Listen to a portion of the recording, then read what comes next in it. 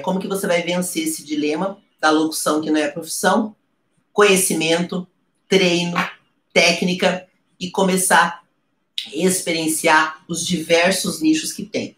Outra coisa importante, começar a se portar, além de um bom locutor, de um bom comunicador, como uma pessoa de negócios que veja a oportunidade em cada trabalho que você faz. Foi dessa forma que eu acabei montando uma equipe de locutores que me deu uma possibilidade de escalar o meu trabalho de uma forma incrível.